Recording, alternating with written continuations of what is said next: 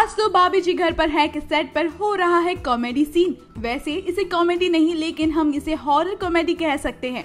क्योंकि सक्सेना जी चुड़ैल बनकर सबको डराते हुए जो नज़र आने वाले हैं।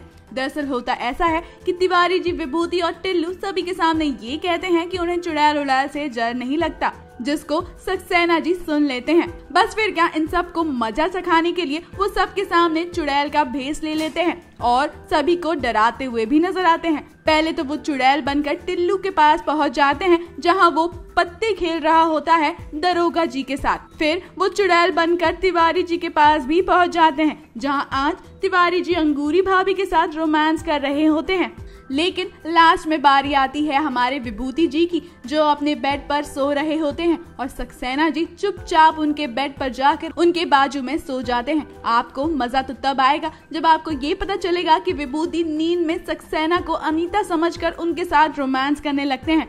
क्यों? आ गई ना आपको भी हँसी। एंटरटेनमेंट से भरे इस एपिसोड को देखने के लिए आप कितने ज़्यादा एक्साइटेड हैं, हमें कमेंट्स के ज़रिए ज़रूर बताएँ। टेलीविज़न के लेटेस्ट अपडेट्स के लिए हमारे चैनल को सब्सक्राइब करना ना भूलें।